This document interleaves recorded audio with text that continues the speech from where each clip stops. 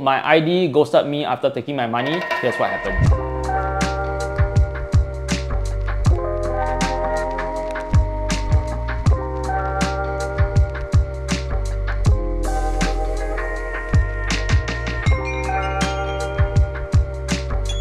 Actually collected the keys last year in January. The whole thing took about a year, but that was partly due to poor planning as well, because we only started to find an ID after we collected the keys. So the ID planning was two months-ish around there, and then the renovation was freaking five months. The ID that we initially hired uh, basically after they came up with the design, they said that they couldn't fulfill the timeline. I was like, what the hell? What do you mean you can't meet the timeline? Uh, this is something that we committed to already, ma, right? So at this point, we had paid them 6k. They refunded us 2,000. So I still paid them $4,000 just for the design. I had to go and find a different project manager to go and build the house using the existing design. This is where I actually came across Homeez. So Homeez is a uh, renovation supplier platform which links up people with direct suppliers and contractors. Okay, so for example, if you want to do like cabinet or whatever, or you need like a painter, uh, you can actually go through Homeez's portal. They'll match you with these suppliers. Lah. So one good thing about Homeez's platform is this escrow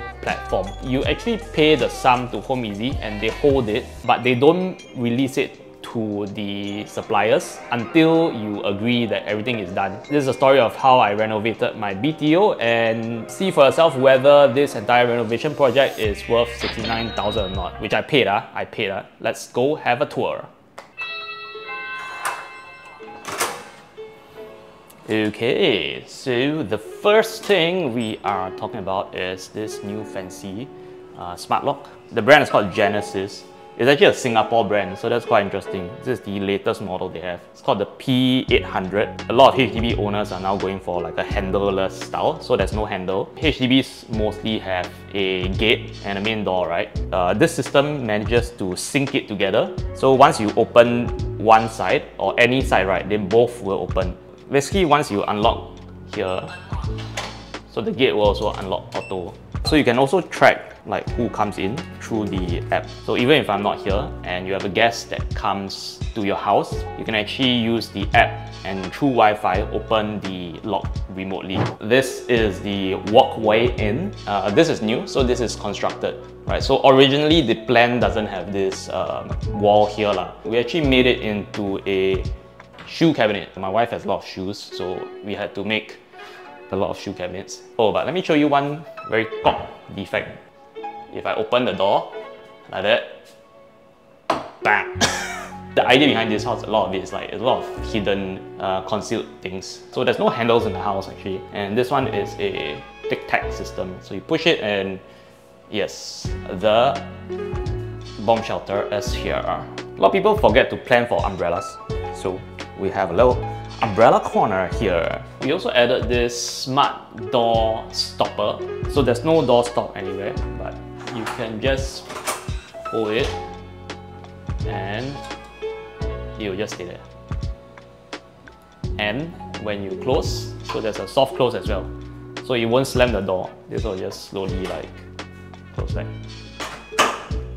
This is the house the idea was basically space maximization and to make it look as spacious as possible. Uh, a lot of the color tones are quite light, so we also use like elements of wood. The idea was to try to blend a pop of color with uh, white and wood. You can see there's two different vibes between the living room and the kitchen. The kitchen is a bit more like fun. The tiles uh, start from the doorway, lah, so it's all connected. I think one thing we were trying to do with the kitchen was to match the colors. So the tiles on the floor matches the laminate color of the kitchen. Lah. Okay, so this is like our dry pantry. Uh, this is a hydroflux water dispenser. So there's an ice function as well and also it dispenses water cold water, room temperature water, and warm water. Wine fridge from Vintec, like a little small one. So we also built in the uh, microwave. It's a microwave from Teka. Then this is the built-in oven. Teka is not a very popular brand, uh, but like the design is actually quite nice. Okay, moving into the rest of the kitchen. This is a cooking hood, also from Teka. Then like here we have an induction panel and uh, this is a gas one. You want to do serious cooking, you use the gas stove. Uh, if not like induction, it's like for basic stuff. Oh, so this top is Kompacplus. It's not like wood wood, so it's like a composite uh, material. It's a very durable top. So you can put like hot stuff on it. The temperature tolerance is very high, so it's, it won't like get destroyed. Wet stuff that you put on top also, like it won't stain. You can actually request for them to use the leftover material. So when they cut the holes, you know, for like the sink, uh, you can actually ask them to use the leftover materials to make a coaster. There's a fee though, I think it's 10 bucks to make it into a coaster. However, this is a secret thing. No one tells you about it. I didn't even know it could be done. Hence, I missed out on that and I got a not the same material one. So this is from Arova. This is the Supreme Light. I think what you want to find right is probably the fingerprint or smudge resistant type of material. You will definitely touch it lah, right, with your fingers and it's going to leave a stain but uh, this material is more resistant to it and you can see your little smudge will like start to disappear. Normally when you build your kitchen right, the dead corner is this L corner. You can actually find this kind of magic corner drawer. Okay, so this uh, magic corner is from KKPL. This is a spice rack basket, but I'm using it for the Asian purpose of sauces. This dish dryer thing is from KKPL as well. All the uh, hinges, including this soft close hinge, is from Arova, who also does the laminates. Here we actually installed the movable power track. Sounds cool in theory, but it's actually not very useful. Uh. Like, it's quite cool.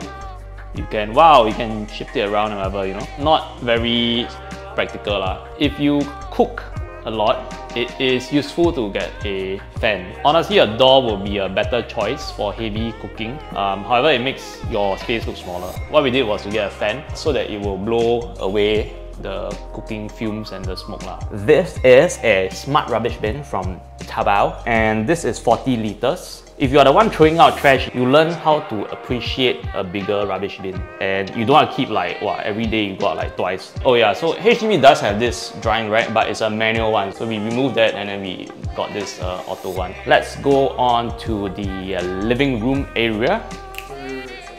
Yeah. Oh, where's the fridge indeed? Did y'all find it? The fridge is here! This is a concealed fridge. It's a very European style for some reason. Like when I was in Europe, like all the fridges are concealed one. So it looks even more seamless. That's the drinks fridge. And this is the food fridge. Uh, that's another fridge here. So here is the dining area. Okay, so here actually is uh, originally one bedroom, uh, but we cut off half the walls so we turned that into a study room. Here's a dining table from Taobao. One thing I regret, right, is buying gloss material. So there's a lot of fingerprint marks on glossy tops. And this is a flute door thing. Yeah, basically you close one door, the other door will also close. Uh. We want to use glass so that there is the um, perception of space, uh, right? So there's more light that comes through, it makes it look bigger. So even with the doors closed, there is a bit of light, so it still looks quite uh, big. The mistake I did was to do this door for the toilet as well, which is a bad idea. You can see the person is like taking off their pants. We solved the issue with another solution. I'll, I'll show you all later. Okay, so this is actually an Omnidesk. You can press and adjust the height. So if you're sick of like sitting down to work, you can stand and work. I actually didn't know Omnidesk made chairs. This is called the Embrace Pro. There's this mesh seat as well. It's more cooling versus the gaming chairs. You don't want to have your shoulders like too high, right? So you want it like low enough. So like the good thing is so this can be adjusted. Basically every part of your body is like supported so you can just work like that, like in the good posture. So one thing I added was a corner fan. I was debating whether to add an aircon here but it's a bit stupid lah, right? It's such a small room then like this is the uh, aircon right here. So we have only one aircon in the living room and dining room. The theory is that you put here, then it will blow, it can blow here and can blow to the living room as well. So this the uh, Dyson Air Cool, eh, Air Tower. Can't remember what's the the model lah. So it's very loud and you can't even feel the, dude I have to stand like here. this is the highest already, this is the max. It's not doing any of the jobs well. So here's the living room. This is my recliner sofa. Boop, boop. Okay, so far technically can buy from Taobao also, uh, but yeah, didn't really want to risk it. Like some people say you don't like the recliner feature is just fun to have. I like to watch TV like like macam lying down it, so that's why this this works for me. So there's a little hole for my cup here. Pretty much we can hide all the remotes here lah. Like this keeps. Boop. This is Evorich Herf herringbone flooring. One of the most fire resistant, it's termite proof, slip proof, waterproof, uh, but also because this is a clip-on thing, right? So when one panel spoils uh, or gets damaged or whatever, you can actually change just like one panel. Yeah, so you don't have to like tear up your entire floor. Okay, so basically all these lights, I actually bought it from Shopee, I think. If you buy lights from the physical light shops in Singapore, right, the price is at least double. So if you go to a light shop also, right, a lot of times like when they plan out your, your lighting, or even if your ID does it right, they always over-spec your lights on. Like, I don't know why, they just want it to look like some freaking dentist hospital thing. Uh, yeah, but you can reduce a good 20 to 30% of whatever lights they give you. The paint brand that we used was called uh, Benjamin Moore. I think the only paint brand that can claim that they have zero VOC. So VOC is some like toxic emission. Actually, a lot of paints have like a very, very small, very small lah, but not zero, right? But Benjamin Moore is zero. This color is called White Dove. So this is our TV wall. Basically, this is a textured paint from Wallhub. Uh, this is called the Strato paint. So the TV console is actually cheaper if you go and buy, just buy one lah. Uh, but I think one thing we wanted was to make it floating, so there's no legs. So if you need to vacuum or you have a robo vacuum, whatever, like it, it can go through under. And this is the uh, Prism TV. So this is the AL65, the 2023 version, which is 60 hertz. 60 hertz limits the frame rates of certain videos. I'm not watching very complicated video, I'm just watching like HD on Netflix. Uh, but fast moving scenes, right, there will be a bit of uh, screen tearing, like there's some blur lah. Yeah, so 60 Hz TV. Uh, but the colors and all is nice lah, resolution, sharpness is all pretty nice. These are window blinds from Opulence Curtains. We went with single pulley system. There's only these two strings lah, that's it. Okay, so it's just to make it as um, seamless as possible. Okay, the downside to this uh, is it's neater, but like when you want to pull up the thing, uh, it's like you need to raise the flagpole like.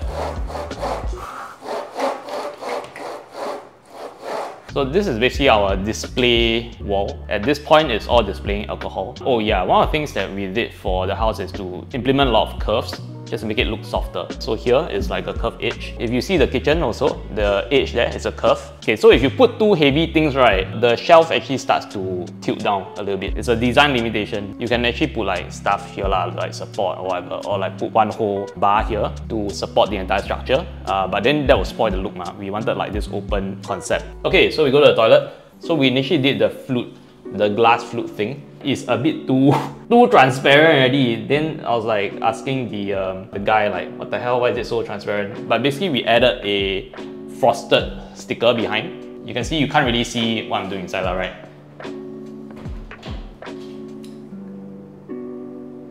Okay, can you see what I was doing? Not really, right? Like shadow lah, but you know I was pointing the middle finger, right? Yeah. Oh, it? Still can see my middle finger. Okay, anyway, so this is the first toilet. Tiles, yeah, so this is also from Hafary. This is like a Moroccan concept. Okay, tap, sink, uh, toilet bowl, the shower thing. So all these are from uh, Lucky Kun. Uh, so again, the concept is create storage. So here is also can open one. Okay, so you can put more stuff. Here we did a half glass just to separate like the wet area uh, from the dry area. You want to make your toilet look like hotel style, right? You ask your plumber or the tiler to make the, use the towel to make the cover as well. So this one is the uh, tornado swirling system. It comes out in a tornado style so you can wash off your poop uh, better than like if it just comes down from the side. Uh, this is a smart water heater. So this is also from Lucky Kun. So you can see like a panel here. Okay, one thing I cock up uh, is the this panel. Should have installed it a lot lower there's a water heater power switch. So if you just turn it off, like here it's fine. Yeah, but if you for whatever reason need to adjust the temperature, yeah, then it might be a bit more troublesome. So there's a timer system on this uh, water heater. So you can set it like turn on only from 9 to 12 or something. Okay, moving on to the master bedroom. Okay, so here's another, the master bedroom toilet. I bought this uh, vanity cabinet from Taobao. Uh, and this one's a anti-fog. So like when you shower, right, then your water vapor will fog up the mirror. Like you can turn it on, then you'll like heat up, then you'll clear the thing. Uh, and lastly, this also tells you the um, the time. I don't know why, but my my wife like gets lost in the toilet. Like she macam go into a different time zone. Uh, so having a clock here lets her know that she cannot take so long to shower. But one thing we did was to make this hole. Lah. Basically, it's like a hole in the door, so you can put your put your shampoo stuff. And we did a door. This one, we had a bit more space, so we could do a door here. Okay, so this is the bedroom. 请看这边, This is this is why the renovation takes like five months. They were fixing the wardrobe, then they gonna the feature wall. So this is freaking annoying. Uh, this is a sensor light. What you want to do right is to plan out your light switches properly. So now this turns on uh, this light. However, here also got a light switch, so it's like a bit redundant lah. Like I want to turn on this light, I need to turn this on, and then like yeah, there's like two steps lah. So you should plan it out. Uh, this is the Wyze wardrobe, so it's a tic tac system lah. So it's like yeah, you push and then like it opens. So there's no handles. But here's another miscalculation on our part. So you see this, open, Uh, a, a, common problem right, is actually the wardrobe space is not enough. Here we have one wardrobe, whole wardrobe is for my wife, so I don't get to touch this. So we actually cut this hole out. So here's another wardrobe.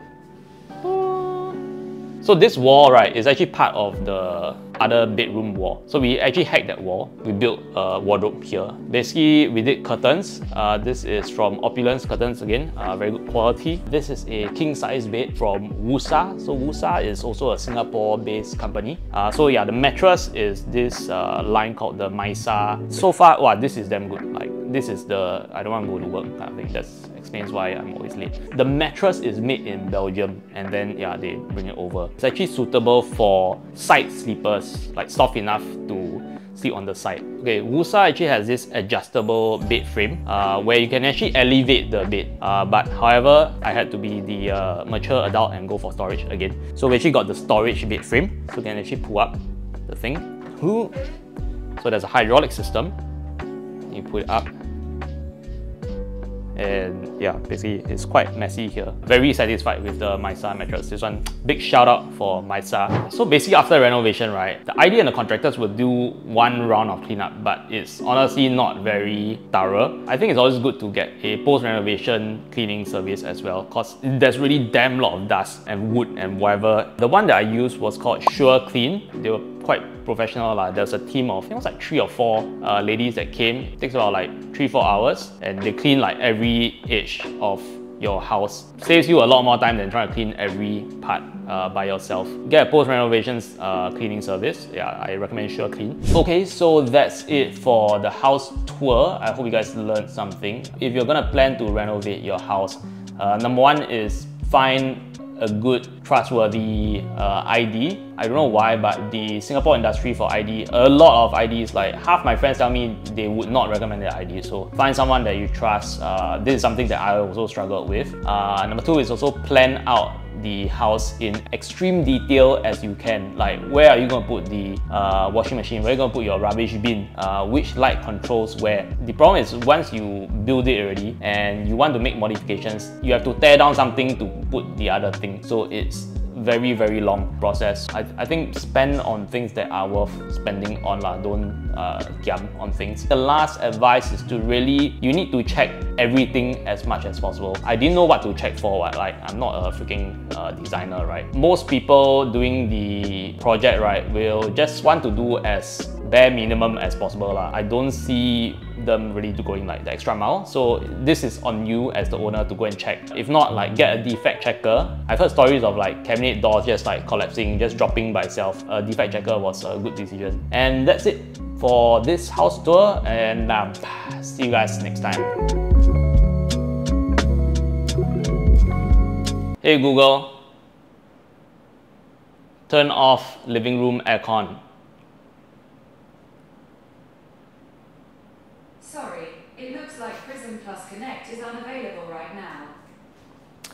So usually, very honestly, usually the app works, but today it just chose not to work.